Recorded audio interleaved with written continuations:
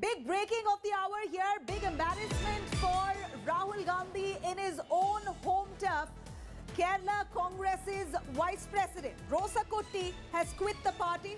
In fact, Rahul Gandhi currently campaigns in Kerala. At a time like that, it seems like the party is imploding in Kerala. This comes right after PC Chacko quits the Congress. Now, Kerala Congress Vice President Rosakutty quits the party, citing lack of coordination and that her voice is being unheard. Let's cut across.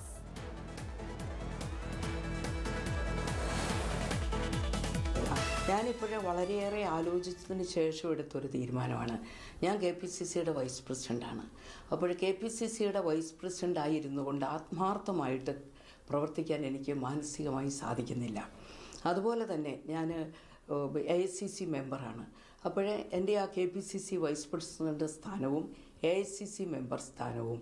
അതോടൊപ്പം തന്നെ കോൺഗ്രസിന്റെ പ്രാഥമിക അംഗത്തിൽ നിന്നും ഞാൻ രാജിവെക്കുകയാണ്. Kerala. Gopi, what a massive embarrassment for Rahul Gandhi while he continues with the campaign trail in Kerala. It appears that the Congress in Kerala is imploding. We're already looking at PC Chacko's resignation. In fact, has really dented the party. And now with the latest resignation of Rosakutty, the Kerala Congress vice president, it seems like the Congress is on the back foot ahead of polls.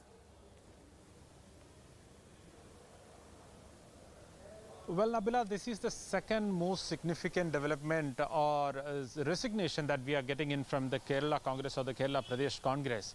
Now, earlier we had PC Chacko who announced himself in Delhi that he is going to uh, lift the party, he is going to resign from the party. Now, today, Rosakutty, he, she was one of the prominent leaders of in northern Kerala. She was an MLA from Sultan Bathery constituency in Wayanad.